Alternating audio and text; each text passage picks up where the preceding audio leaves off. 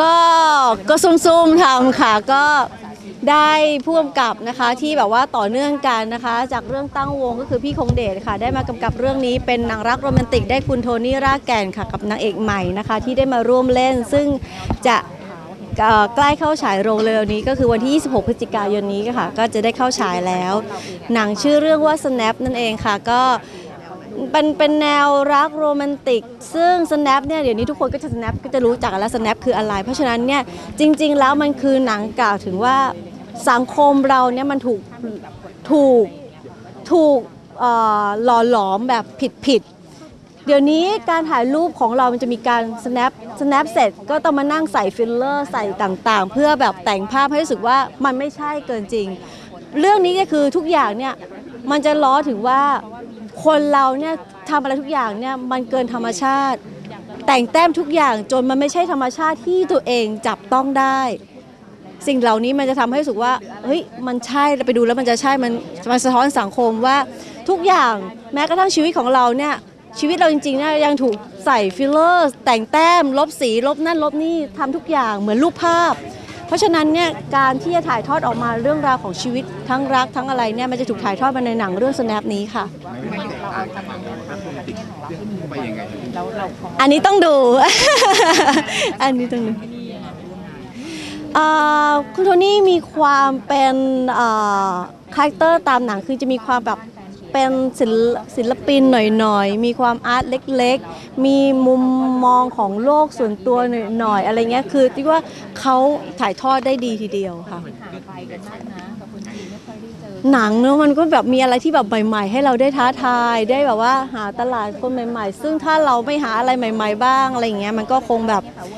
มันก็คงไม่มีใครเข้ามาในวงการบันเทิง แต่ว่าด้วย character ของของของน้องใหม่เนี่ยก็ก็ได้สร้างขึ้นมาที่เขาน่ารักค่อนข้างน่ารักค่ะtarget เหรอคะก็วางไว้ก็คือได้ทุกเพศทุกวัยก็คือตั้งแต่วัยรุ่นขึ้นไปดูได้ค่ะค่ะเอาพี่คงเดชดีกว่าถ้ารายละเอียดหน่อยนี่ค่ะพุ่มกับหนังเป็นยังไงบ้างคะเรื่องนี้เพิ่งเสร็จร้อนๆเลยครับ ครับครับครับเอ่อ มันก็เป็นหนัง คือเราไม่ได้ทำหนังหวานๆมาสักพักหนึงแล้วฮะเอ่อหลังจากที่เขียน Letter เขียน Happy Birthday อะไรอย่างเงี้ยนะฮะแล้วก็ตัวเองที่เคยทำเฉิ่มอย่างเงี้ยแต่ก็เอ่อแล้วก็ไปทำตั้งวงไปทำอย่างอื่นใช่มาอันนี้มันเหมือนกับแบบเรากลับมาทำหนังที่มันว่าด้วยความรู้สึกรักอะไรอย่างเงี้ยอีกครั้งหนึ่งอะไรอย่างเงี้ยฮะแล้วมันก็จะว่าด้วยกลุ่มเพื่อนที่เรียนจบกันไปแล้ว แล้วกลับมาเจอกันอีกครั้ง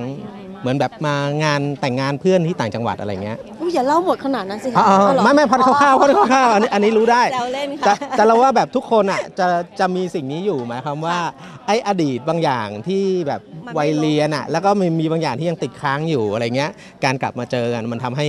ให้เกิด moment บางอย่างขึ้นอะไรเงี้ยไม่น่ายากนะ เราคิดว่าแบบเอ่อความรู้สึกแบบนี้มันทุกคน relate กันอะอืมใครบางคนในชีวิตอะที่แบบ ทุกวันนี้เราก็ยังเราก็ดำเนินชีวิตไปแล้ว แล้วก็มีชีวิตของตัวเองแล้ว แต่มันมีบางคนในอดีตที่ที่ยังคาคาใจกันอยู่อะไรเงี้ยอืมเปิดตัวถึงที่ญี่ปุ่นเลยค่ะเทศกาลก็ตอนนี้มันได้รับคัดเลือกอะฮะ ก็ ก็น่าจะไปตามเทศกาล แล้วก็กลับมาที่เมืองไทยเหมือนตอนตั้งวงอะไรอย่างเงี้ยครับ แสดงว่าเราเหมือนเราเจาะเจาะไปที่ทางเทศกาลต่างประเทศก่อนแล้วค่อยกลับมาที่เมืองไทยอย่างเงี้ยนะคะหรือว่าเอ่อเรียกว่าระหว่างที่เราทำเนี่ย แล้วก็พอพอดีทางเทศกาลเขามาขอดู คือเราหนังเราเองมันไปตามเทศกาลบ่อยอยู่แล้วใช่ไหมฮะดังนั้นเราก็จะรู้จักกับโปรแกรมเมอร์ตามเทศกาลต่างๆ ซึ่งเวลาเราทำเรื่องอะไรเนี่ยเขาจะคอยอัปเดต แล้วก็พอเขาดูแล้วเขาก็ชอบ มันก็เลยเหมือนกับไปเปิดตัวที่โน่นโดยปริยายอัตโนมัติ พอไปเปิดตัวที่นู่นโอกาสในการก้าวไปสู่ตลาดโลกมันค่อนข้างที่จะมีสูงกว่า การเปิดตัวครั้งแรกในเมืองไทยป่ะคะพี่เอ่ออันนี้เราไม่ได้อยากคาดหวังอะไรเป็นพิเศษนะ แต่หมายความว่าเรไม่ได้เลยใช่เราเราแค่ดีใจว่าแบบเวลาทำหนังเสร็จแล้วเอ่อนอกจากคนในประเทศแล้วมันมีคนต่างประเทศทั่วโลกด้วยที่ที่จะได้ดูสิ่งนี้อะไรเงี้ยเพราะว่าการที่หนังไทยเรื่องหนึ่งเวลาแบบได้ไปฉายต่างประเทศมันก็เหมือนกับได้ไปเผยแพร่อะไรสักอย่างอยู่เหมือนกันนะอืม แล้วก็เรื่องนี้ก็ต้องขอบคุณเนอะทั้งพี่คงเดช Song Sound นะคะทาง True Vision นะคะ แล้วก็เอ่อ